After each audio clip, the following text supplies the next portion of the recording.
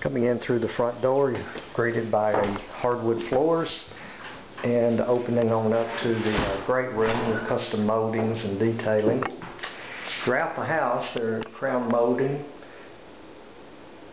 with a picture mold. Through the French doors on the left as you come in, uh, this room is multifunctional. It could be used as a dining room. The current owner is using it as his home office.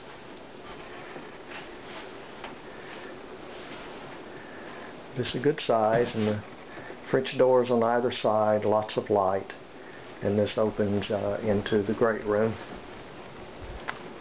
with a tray ceiling, gas log fireplace. No, that's not gas log, that's uh, wood burning fireplace. And there are two bedrooms on this side of the property. Spacious guest suites which uh,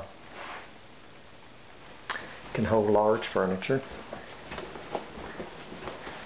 The hall bath. And then another uh, bedroom on the front.